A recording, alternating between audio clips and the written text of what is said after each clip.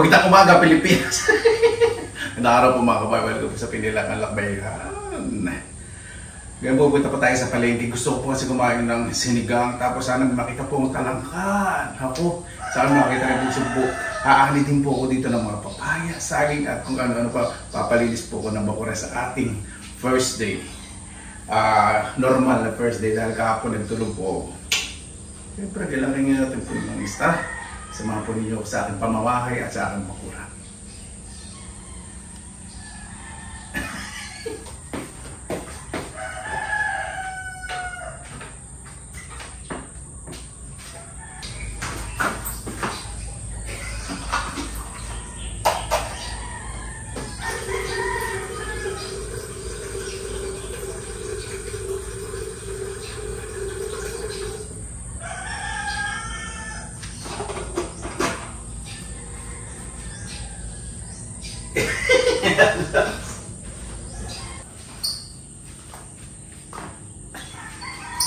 Lakas ng tawa po.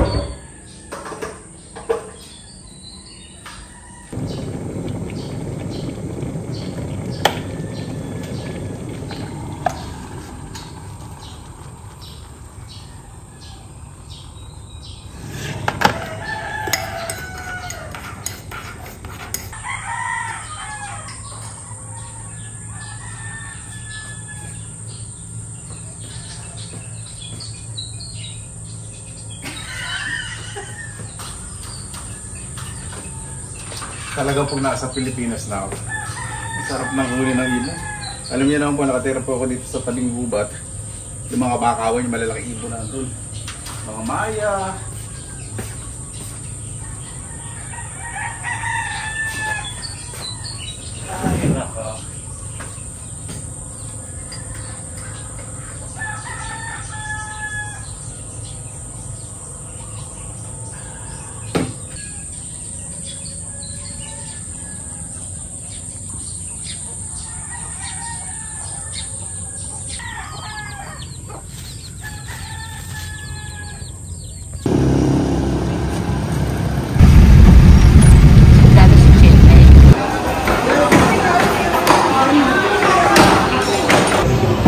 Ayan po, bumili ko ng talangka. Kalahating kilo. Ano po, 150 po ang kalahating kilo.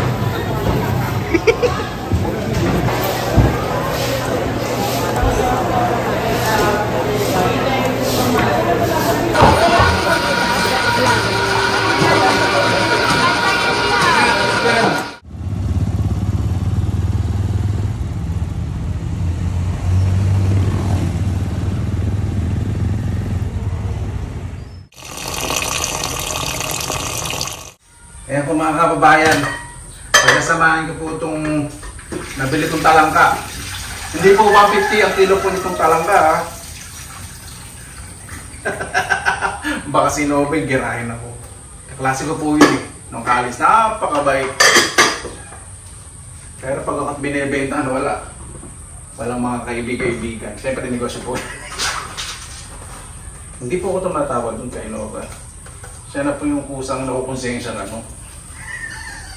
Ako ni Sir. Lalagyan ko ng puta ng konti kasi pag mag-handobus po kayo, huwag po kayo maglalagay ng tubig.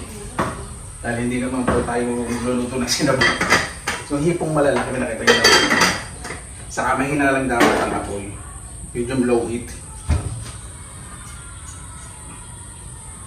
Mga na akong halimo dahil mamaya mag mag-ahawa na ako sa labas. Maganda kainan natin ngayon. Ah, Diba? Ayan. Okay na po yan. Okay overcook kasi kukulong ito liliit. Ah, di ba? Huwag niyo po nang bubuksan na kasi pag nag-evaporate po, makukulong tuyo po yung balat ng hipon. Hmm, yan po. Para yung tubig, ah, yung katas ng talangga saka nung malaking hipon na may maintain na. Ah, di ba? Ayan po mga kabayan. Medyo nakalinis na po dito ng konti. Anin ko na po yung mga saging kasi mga hilog na. Talagang hinintay po ko ng mga kapatid ko at ng aking mga magulang. Buti naman hindi nila hinarbat. Yung mga konsensya naman.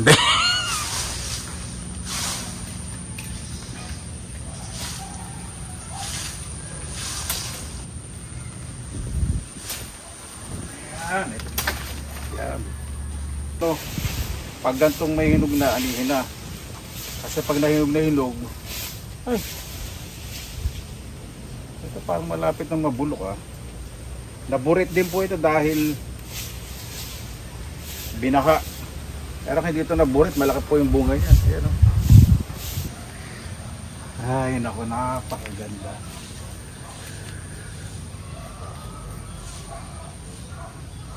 Magpapatambak na po ako dito. Papapantayin ko para mas maganda. At ito mangga. Hindi ko na rin. Ah, eh, dalawa. Magkat bagoong. Aanin ko lang ito isa. Para naman isa na lang muna. Yan. Etong mga naani po, naku, itong mga hinog, pumutok na. Tanggalin ko po muna itong mga hinog sayang to. Kinain na ng daga.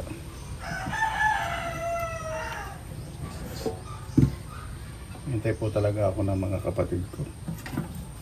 Para daw po may maani po ako. Sweet po, di ba? Kalihan po natin.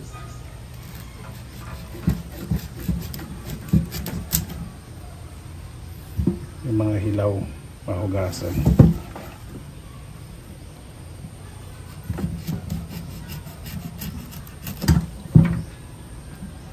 Para sa mga hinog.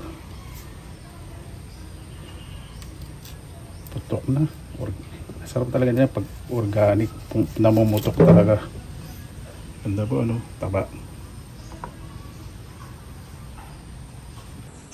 Hindi ko po muna kinain itong saging kasi medyo mapakla tinikman ko po yung isa.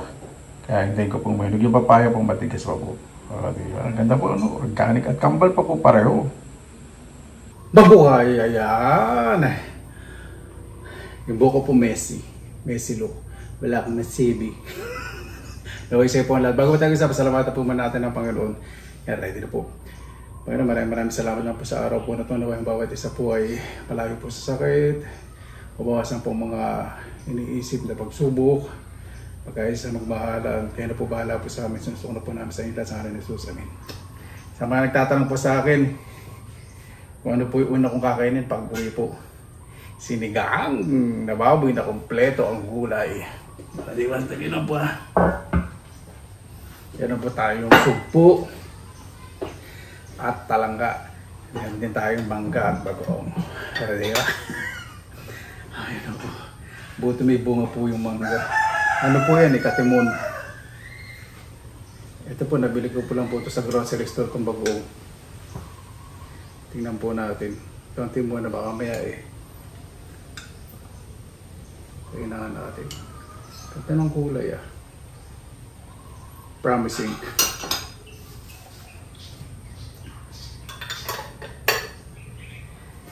Iba natin yan.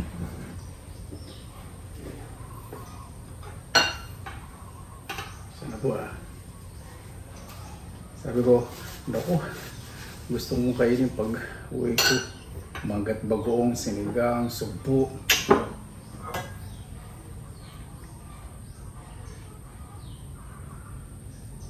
Dali. Kasi yung soft drinks.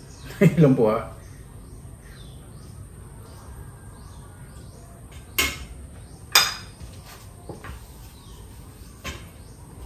Ano ko soft drinks.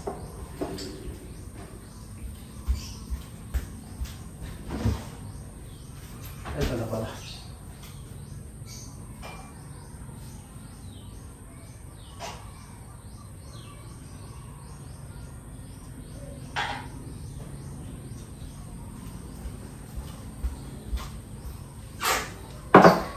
Pag nandito po sa Pilipinas, wala pong pakialam po talaga sa itsura ko.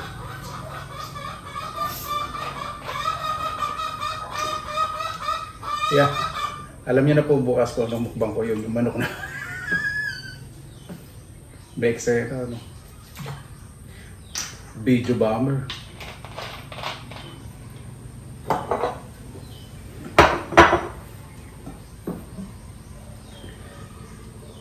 Ayan. Ay, nako. Napakasarap. Ay, sabaw.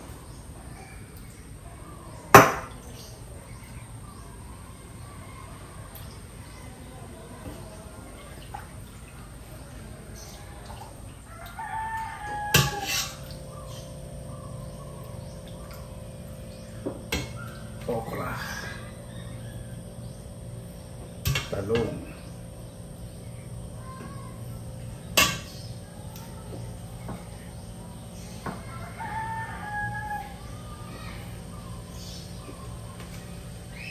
Tensya na dahil medyo puno ang ating mesa.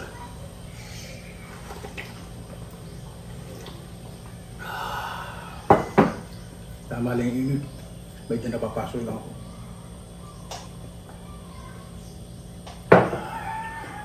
Meron din po tayong patis na may sili. Patis. Eh, pat, suka na may spice vinegar na may sili. Hmm. Napakasarap. Gusto nga natin itong sausawan dito.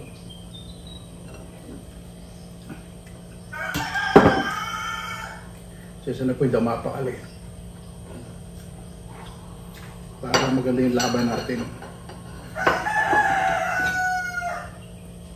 Yan.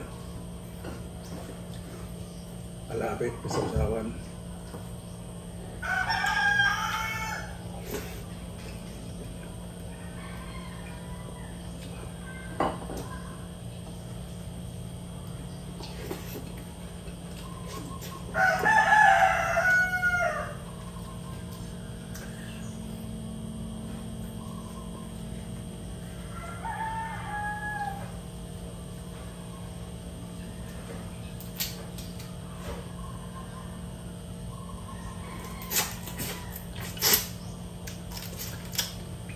Sarap.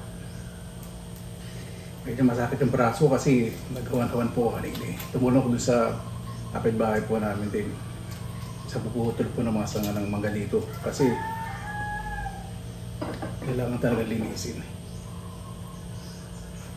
Ano ba ito? Sus. Diba? Mm. Ang sarap.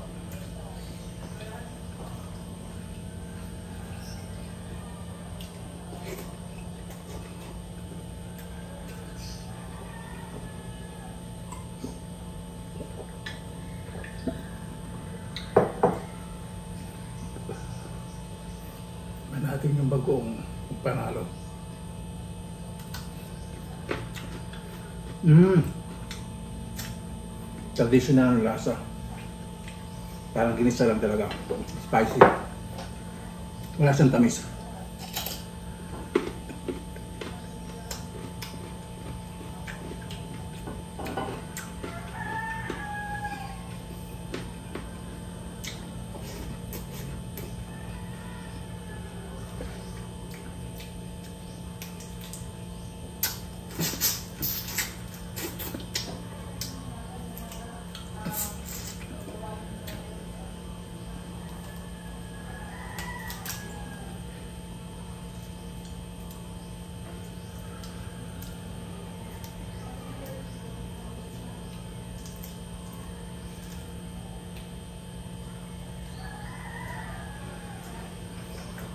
Ang masarap.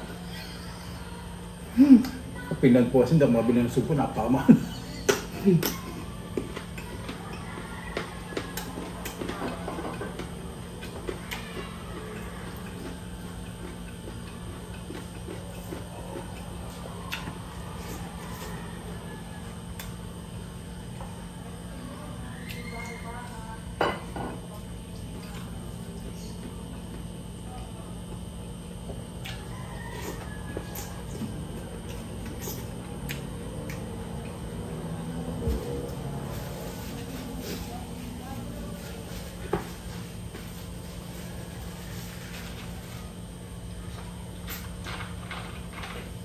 Napakasarap po sa Pilipinas. Ano? Kailangan ko pang ano, humariban ng humariban para makaipon at mas matagal ang pananat- pananatili ko rito.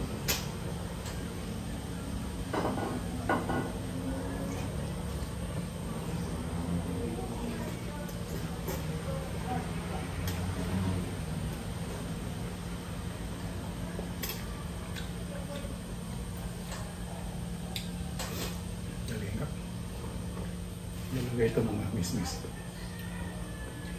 Yun na lang po. Excuse me po sa miss-miss ah. Nakalimutan po po kasi kumuha ng ano, tasa. Ito po sa langka. Taba. Yan po, aligil. Aligil. Ayoko po ng buro kasi baka gusto ko kumain ng buro. Gusto ko gusto ko po. Kaya lang, baka madali po kasi ako.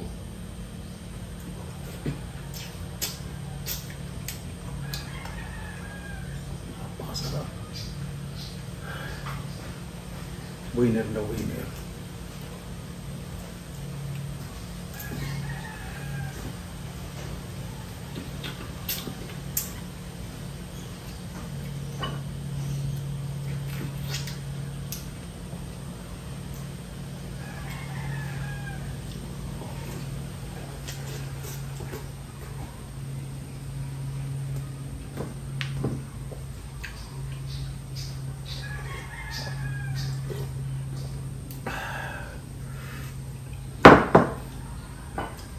Kinaukaw ko yun dahil ako rin naman ka- mag-ubos ko po yun. Wala naman po masabi, siyempre po may kasabi ako dito. May konting breathing.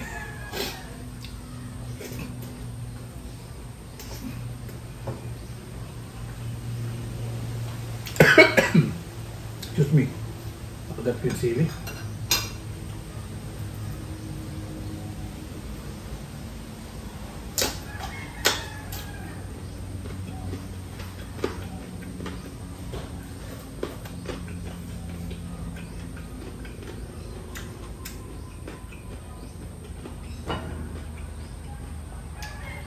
Etong katimon na mangga, pag halaw siya, hindi siya masyadong maasim. Medyo makunat siya.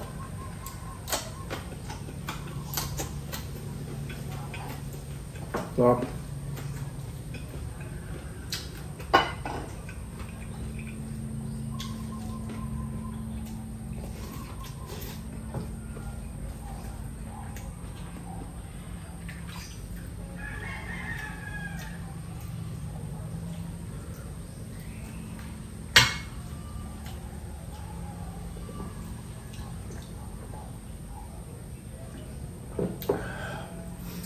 ay, naku po. Napakasarap talaga.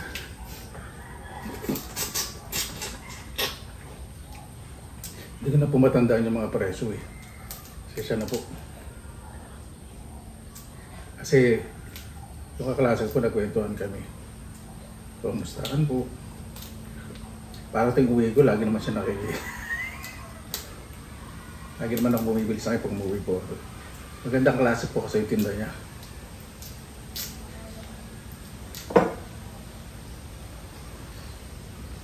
Ayan.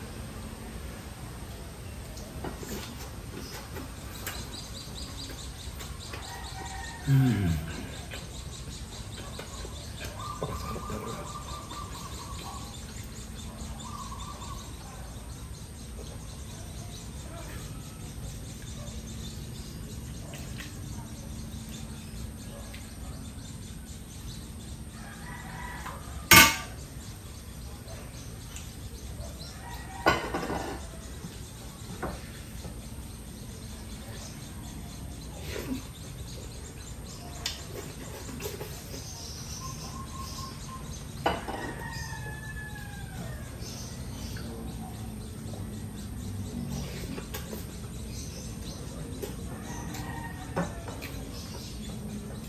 Dapat magmumukbang nga po pala ako sa labas, eh kaya maamog eh.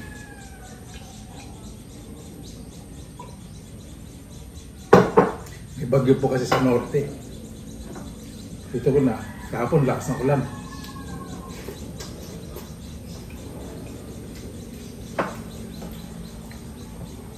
Naku. Naalala ko.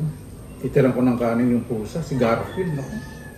Namiss ako ng pusa na. Hindi pa sa, sa akin pusa na yung si Garfield po.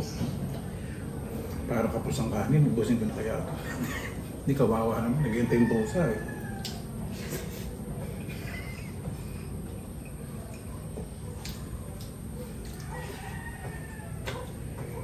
Pag-uwi po ako dito, ligaw na pusa.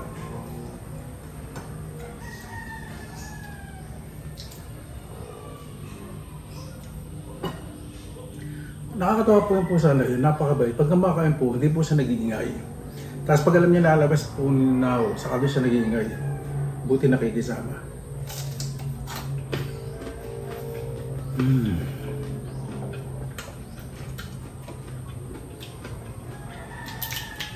Hmm?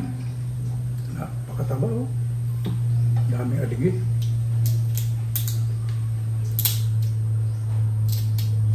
Sarap po talaga ito, buro. Tapat lang kasi, baka madali po kasi ito. Asin lang. Halugin. Tapos eh, baban, ano, babantuan ng mainit na tubig. Ganun lang. Tapos pipigay niyo sa mainit na kanin eh. Ay, no. Ganito may sukang may silip. Pakasarap ba?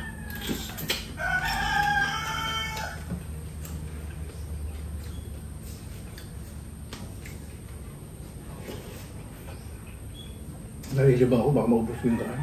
Kawa naman yung pusa. Okay, excuse me.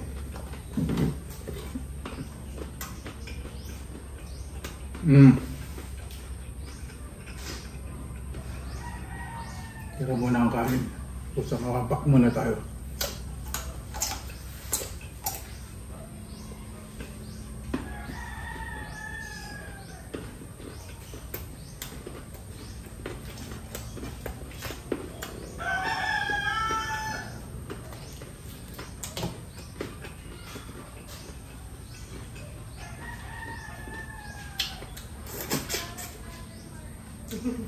Sarap.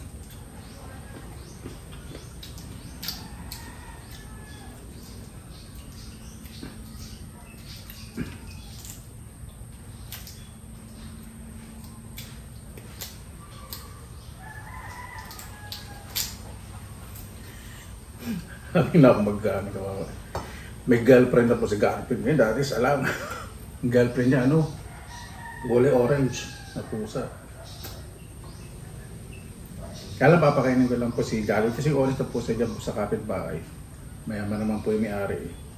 Kasi baka mamaya mag-stay po dito, di ba? Tapos maglampungan sa gabi. Ingay, ingay. Mm-hmm.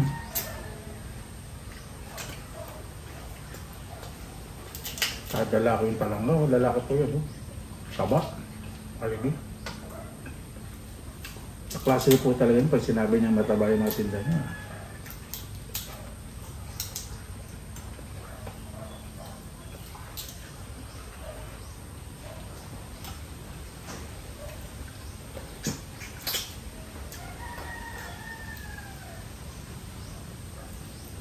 yung agahawan po bibigyan ko ng ano ng supo sana talangga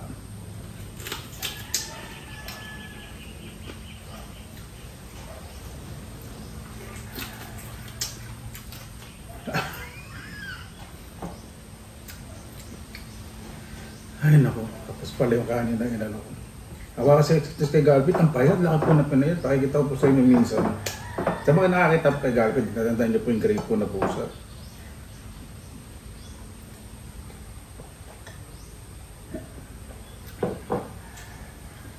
Ah, sa ibang baraso ko sa pag...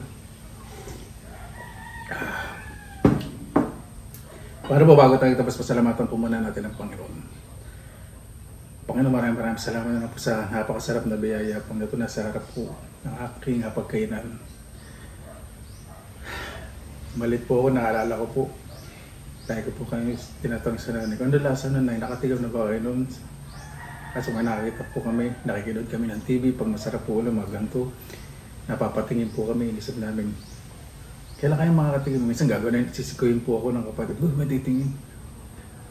Yan po, sobrang salamat po ngayon po ay binararanas niyo po sa akin.